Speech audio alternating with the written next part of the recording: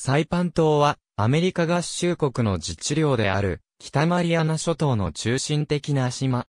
北マリアナ諸島の政治、経済の中心地で、首都、ススペや最大都市ガラパンも同島にある。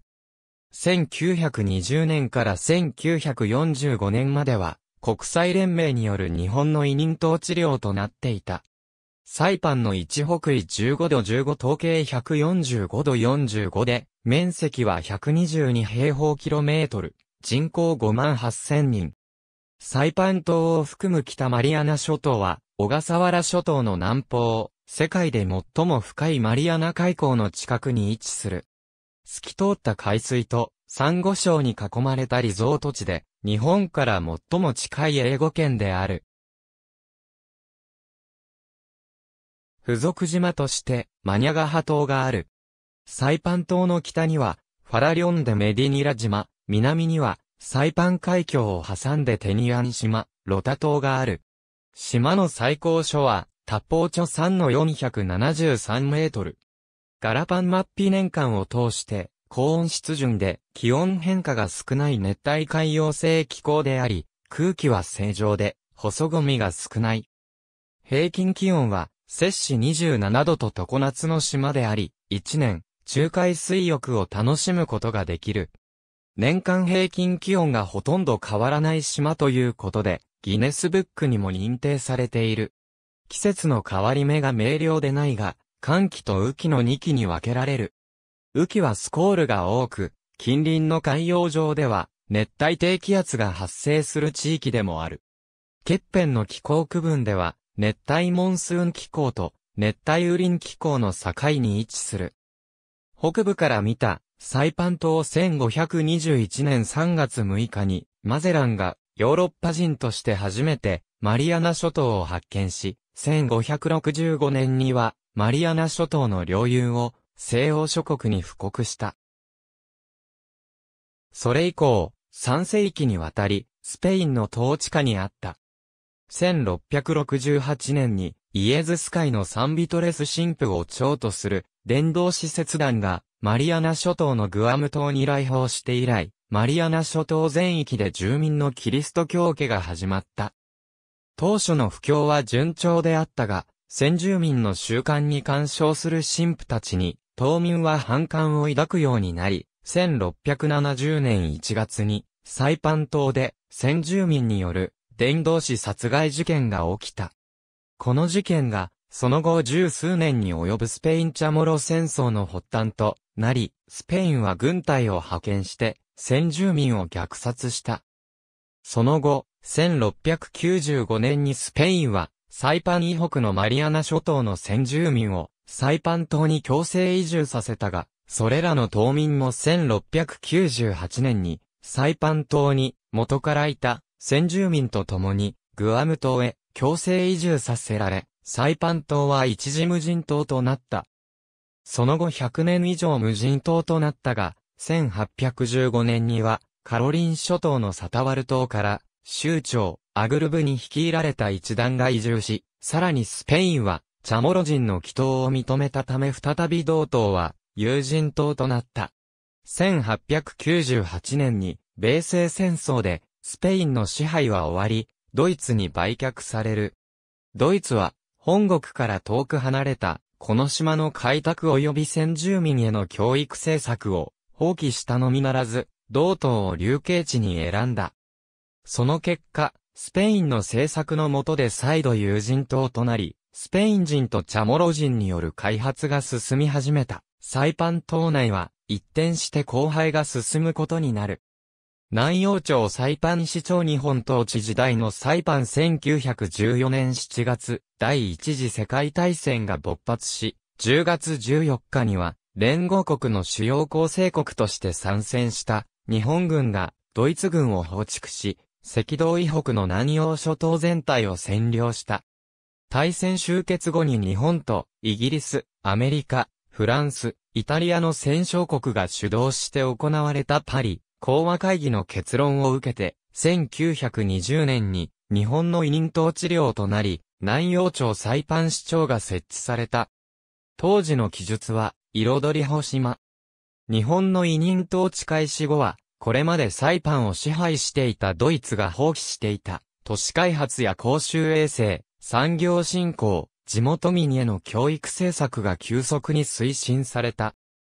日本による委任統治領となった後は、サイパン島は内地から南洋への玄関口として栄え、サイパンで産出された砂糖の積み出し港としての役割にとどまらず、同じく日本の委任統治領であるパラオやマーシャル諸島、カロリン諸島などとの間での貿易の中継地点としても発展した。この時期には、プランテーションにおける労働力、港湾に役労働者、貿易省、行政管理として、日本や台湾、朝鮮からの移民が移住した。その間、純国策会社の南洋共発、株式会社が、サイパン島、ロタ島、テニアン島に、製糖所を建設し、アジア最大の製糖産地として発展させた。設立者の松江春治は、佐藤王と呼ばれ、彼の功績が称えられて、綾穂神社境内に、綾穂公園が造園され、現職社長としては、異例の樹造が建立された。第二次世界大戦前には、日本軍の太平洋における要衝の一つとして、日本軍司令部が設置され、横浜港から大日本航空の定期便が運航されるなど、軍民ともに行き来が活発になった。大戦勃発後は、日本海軍の太平洋戦線における重要拠点となった。1943年8月の時点で、の人口は日本人29,348人、チャモロ人、カナカ人3,926人、外国人11人となっていた。しかし、大戦末期の1944年6月のアメリカ軍をはじめとする連合国軍の上陸の際には、住民を巻き込んだ激しい戦闘によって多数の犠牲者を出した。現在でも、バンザイクリフやスーサイドクリフなど島のあちこちに戦争の名残がある。サイパンを行後継する天皇、皇后1944年7月以来、サイパン島は連合国の一国であるアメリカ軍の軍政下に置かれたが、1947年に国際連合の新宅統治領、太平洋諸島新宅統治領となった。1981年1月9日、アメリカ合衆国内の自治領である北マリアナ諸島としてアメリカ合衆国内に止まったが、北マリアナ諸島以外は次々と分離独立していった。日本からやってくる戦没者慰霊団の宿泊施設として、1977年にハファダイビーチホテルが創業して以来、日本人観光客が多く訪れるようになり、1980年代に入ると、日本のデベロッパーからの投資が活発に行われ、日本航空や第一ホテルなどにより多くのリゾートホテルやゴルフ場が建設された。しかしその後日本のリゾート渡航先の多様化などを受け、日本人観光客が減り、2000年代に入ると、日系ホテルの撤退が相次いだ上に、日本航空も乗り入れを取りやめた。第二次世界大戦終戦60年にあたる2005年には、6月27日から翌28日にかけて、天皇、秋人、皇后美智子が戦没者を慰霊するため、天皇が史上初めて友好親善ではない慰霊目的だけの海外訪問として統治に行行した。アメリカにおける北マリアナ諸島の連邦化に伴い、2009年11月28日より、グアム北マリアナ諸島ビザ免除プログラムが開始した。日本国籍者を含む14の国籍者は、プログラムの対象となるため、45日以内の滞在であり、有効なパスポートがあるならば、ビザ免除かつエスタ申請なしで、サイパン島を含む北マリアナ諸島に滞在できる。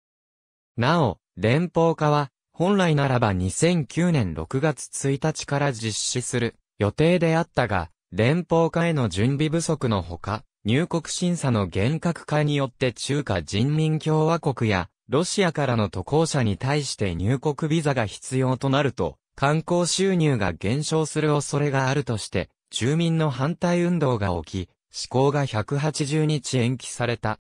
これに対しアメリカ連邦政府は、中華人民共和国国籍者とロシア国籍者に対しては、北マリアナ諸島への渡航に限り、45日間の臨時入国許可を認めることにしたため、両国籍者は現在でも、ビザなしで、北マリアナ諸島を訪れることが可能である。このため、両国からの直行便やチャーター便が多数、運航されている。また、中華人民共和国国籍者によるアメリカ永住権所得を目的としたサイパン島内での死女出産が増加している。サイパン国際空港サイパン国際空港が空路での玄関口となっており、グアムやロタ、テニアン島や日本や大韓民国、フィリピン、中華人民共和国の主要都市への定期便が運航されている。日本からサイパンに向けた航空路は、かつては第二次世界大戦前は大日本航空の飛行艇が横浜港との間を結んでいた。またノースウェスト航空、デルタ航空が2018年5月頃まで成田国際空港から乗り入れ、その後撤退したが、スカイマークが成田国際空港から2019年11月に就航した。サイパン港は日本統治時代に南洋の玄関口として栄え、貿易や旅客の行き来が盛んであった。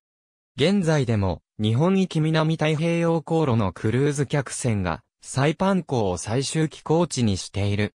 また、日本との間にコンテナ船定期航路が開設され、物流の拠点となっている。シュガートレイン、日本統治時代には、蒸気機関車による軽便鉄道があった。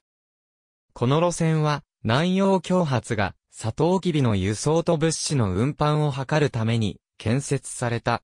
北部のバードアイランド付近からガラパンを通り南部のラウラウ湾まで、島内を一周するように運行されていたが、サイパンの戦いで破壊され消滅した。現在、島内には鉄道がないため、島内の交通は主として自動車が使われ、地元住民は原則として自家用車かタクシーなどでの移動が一般的である。観光客向けの公共交通手段としては、観光客が集中するガラパンを中心に DFS ギャラリアのシャトルバスが往来し、ホテルやカントリークラブ間を連絡している。以前は九州産業交通の現地法人であるサイパン三行が貸切バス事業を行っていたが、九州産業交通の産業再生機構活用による事業再編の一環として売却された。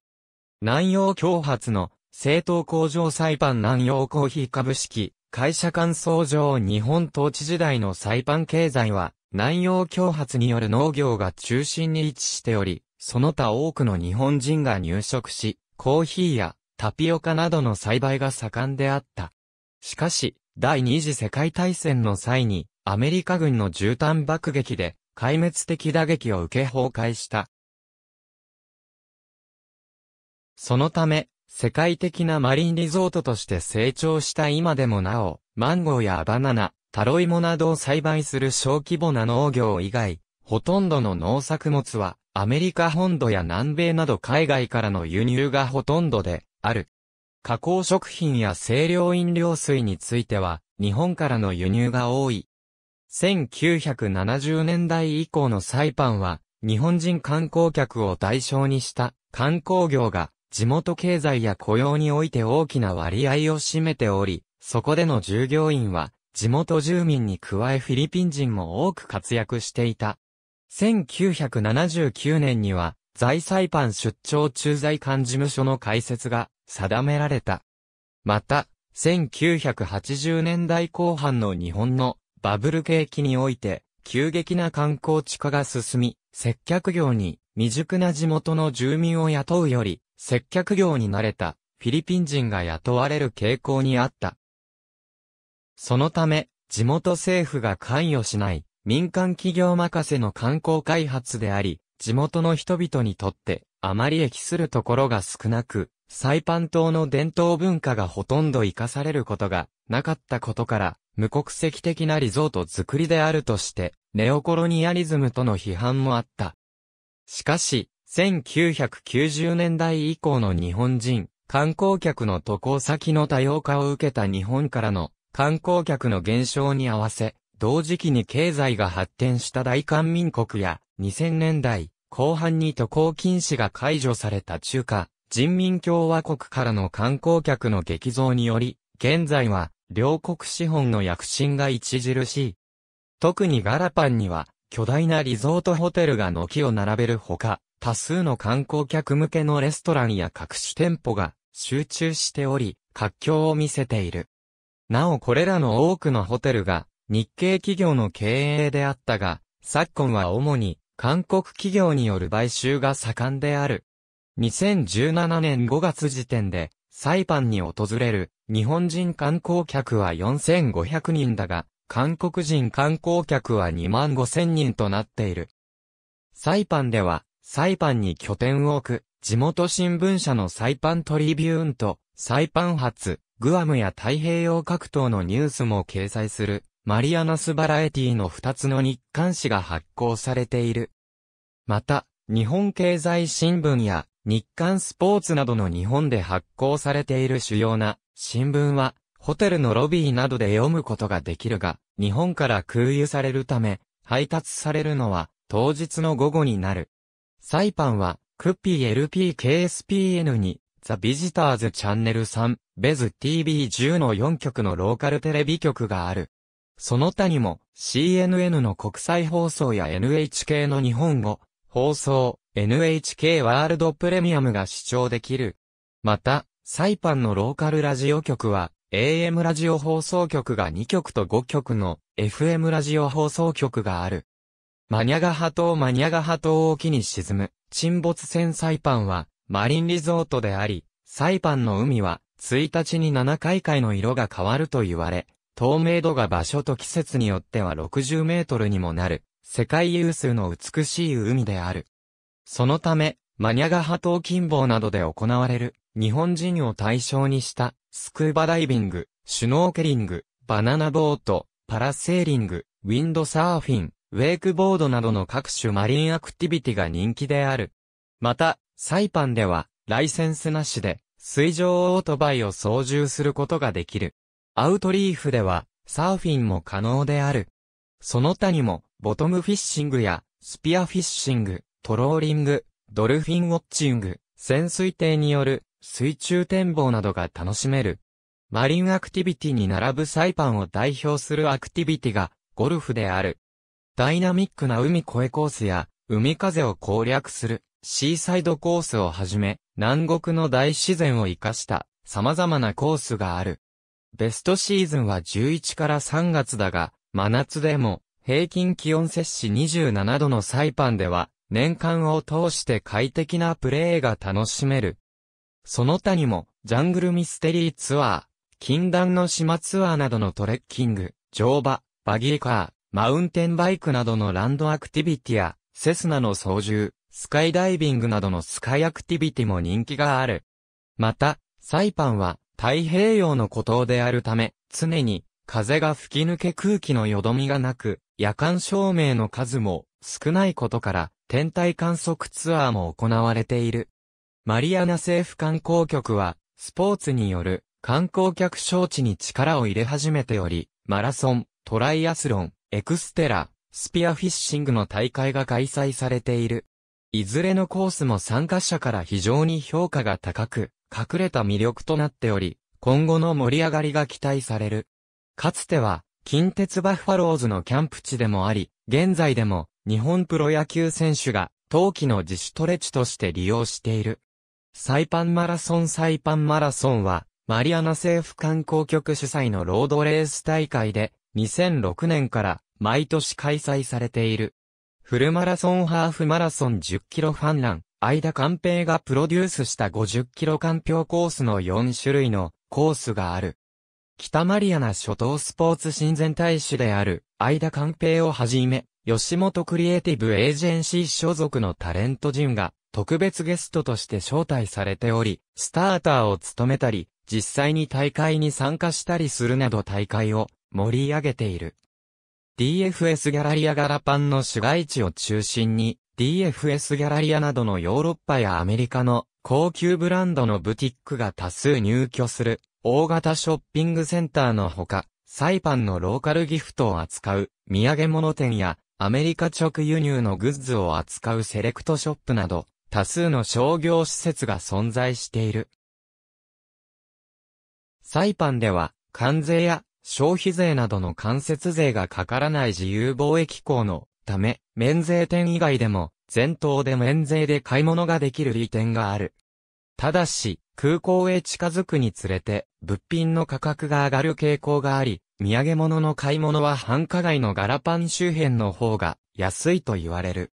サイパンでは、地元の茶モロ料理を、はじめ、新鮮なシーフードやボリュームのあるステーキなど、南国ムードが漂うアメリカンなメニューが楽しめる。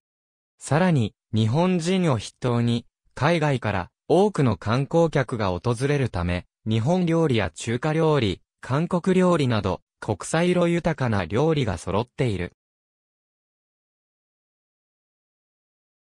バリエーションも幅広く、ホテル等の高級レストランから、ローカルなレストランや屋台まで、雰囲気や予算に合わせて選べる。